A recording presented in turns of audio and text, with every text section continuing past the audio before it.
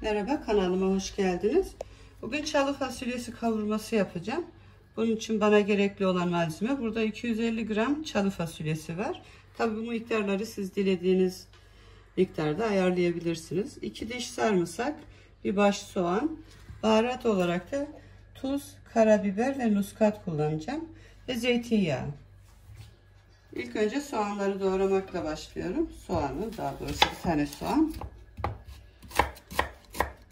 Çalı fasulyesi kavurması yemeklerin yanına güzel yakıştığını düşünüyorum.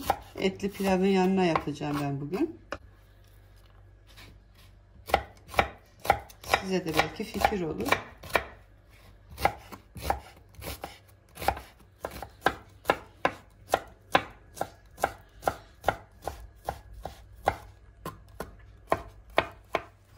İlk önce tavaya bir miktar sıvı yağ alıyorum. Ben zeytinyağı kullanıyorum. Siz dilediğiniz yağı kullanabilirsiniz. Ve sarımsak soğanları ilk önce biraz kavuracağım.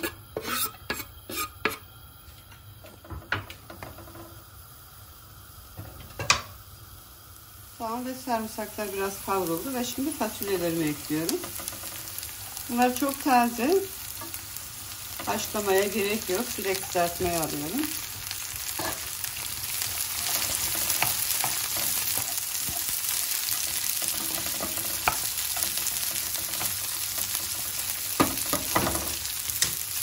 Kapağını kapatacağım. Kendi suyuyla kavrulacak. Altında biraz kısıyorum. 10 dakikada bu şekilde yavaş yavaş kızarıyor. Çok çabuk pişiyor. Ve şimdi baharatlarını ve tuzunu ekliyorum.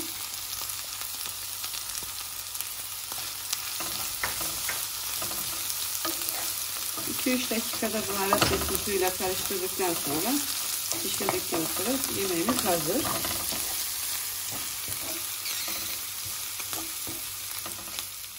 Fasulye kızartmamız, kavurmamız hazır. Dediğim gibi ben etli pilavını yanına yaptım. Size de belki fikir olur.